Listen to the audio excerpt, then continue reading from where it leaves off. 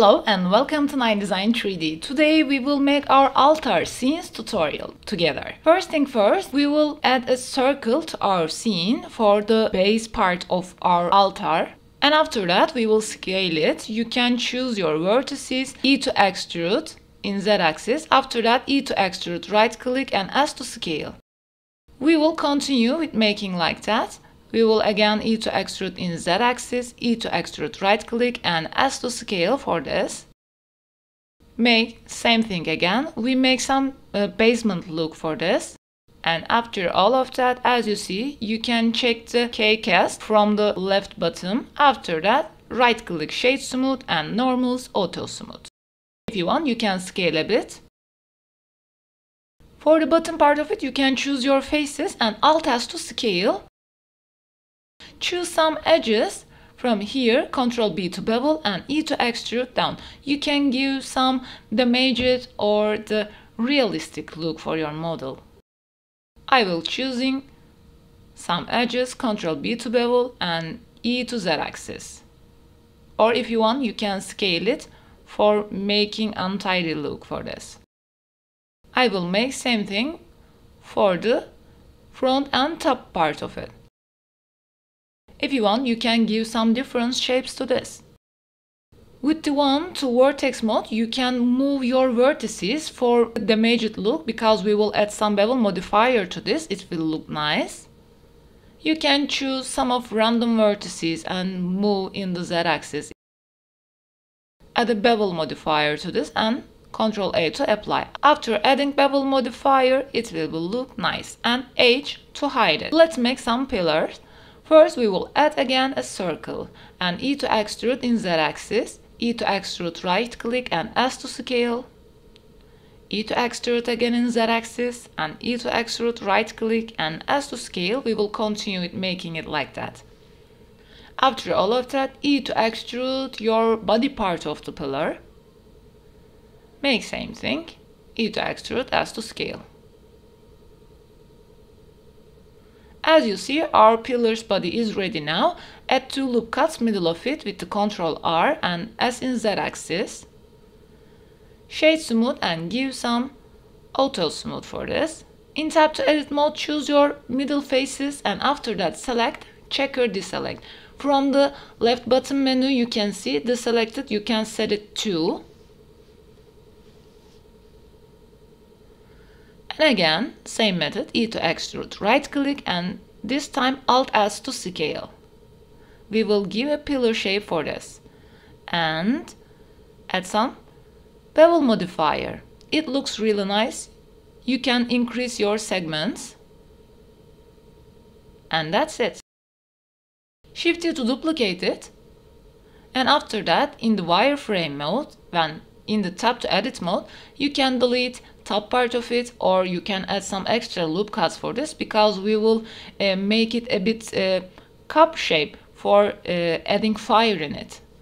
And now you can choose your all vertices with Alt and F to fill.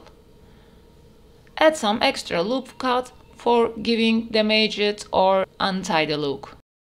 With the same method, we will make something. You can give some bevel for the vertices, Ctrl B and press V after that. You can give a bevel for the vertices like this method.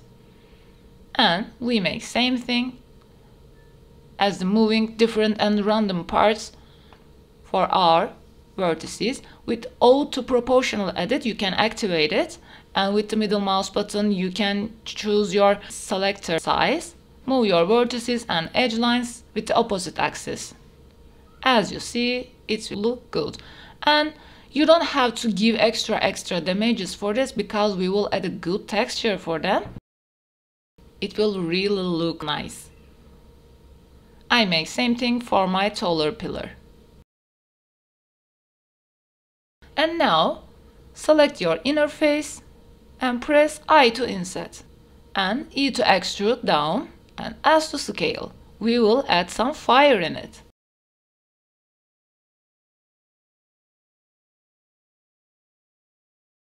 Now we will add the bottom part of the altar base part, add a circle again and E to extrude to the Z axis. Don't forget to close your proportional edit S to scale again. With the same method, we make our base bottom part of the altar and Alt H for unhide. Make same thing for this, give some shade smooth and auto smooth. And place it. With the bottom part, you can add some bevel modifier it too. And as the same method, move your some vertices. Add a loop cut in the middle of it. We will make a bit uh, slot type, uh, look like a channel. You can choose your edge loop with Alt and Control B and E to extrude down in Z-axis. It will look like that. Now we will shift it to duplicate our pillars and place it where you want which type altar you want you can make it look a rectangular type and after that for the big stone block I'm adding a cube and scale with adding loop cut and after that control B to bevel for giving smoothness you can add a different stone old stone type it and adding some bevel modifier as the same method now we will damage it. I showed before how to damage your walls or buildings. You can go from the top right card. I explain it all detail with adding new texture with the displace modifier. And it's really easy. we will use a boolean modifier and choose an object this type of different shape. And after that as you see it looks real damage. If you want you can change your size of the weird shaped cube. And after that make same thing with the boolean modifier. You can give some damage for your stone blocks shift it to duplicate little pillars we will add some fire in it as I said before if you want you can give some uh, rectangular or square shape for this too I'm setting my camera angle for how it will look. Let's add some walkway stones for the old type. I am adding a cube for this and adding some loop cut with Ctrl R in it. With the same method, we moving our vertices for the different ways and different axes and adding a bevel modifier for giving a smooth look and Ctrl A to apply it.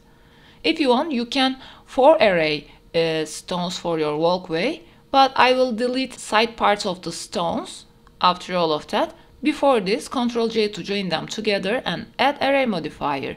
For this, set 0 for your x-axis and negative 1 for your y-axis. And you can increase your count for giving your walkway shape.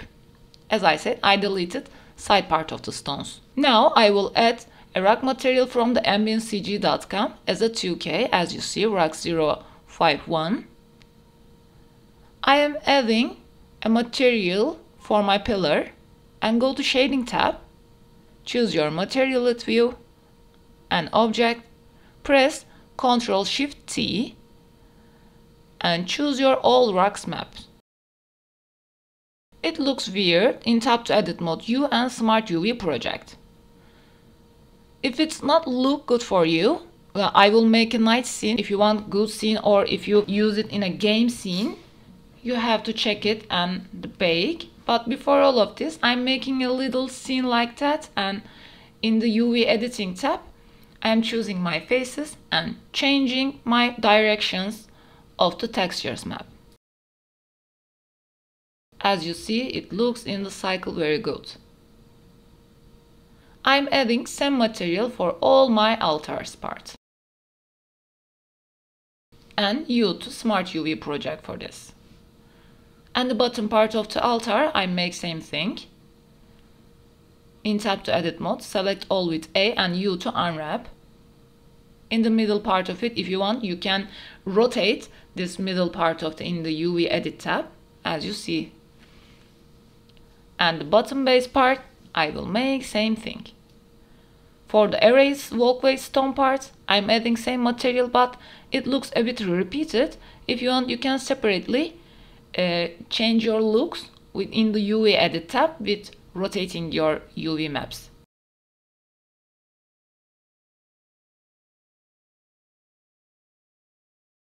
I'm making separately looks for the walkway stones and it looks in cycles view. I really liked it. Let's add a plane for the ground material because we will add some grasses on it. I am adding plane and after that with the same method press Ctrl Shift T and choose your ground maps.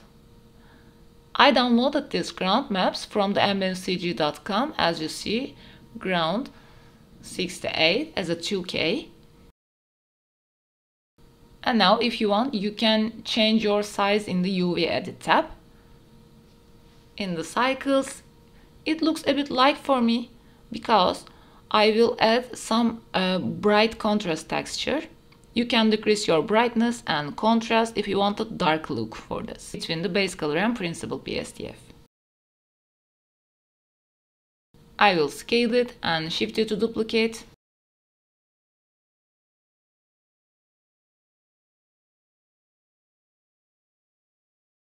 In the Blender kit, I will download some grass objects. I will append as a plane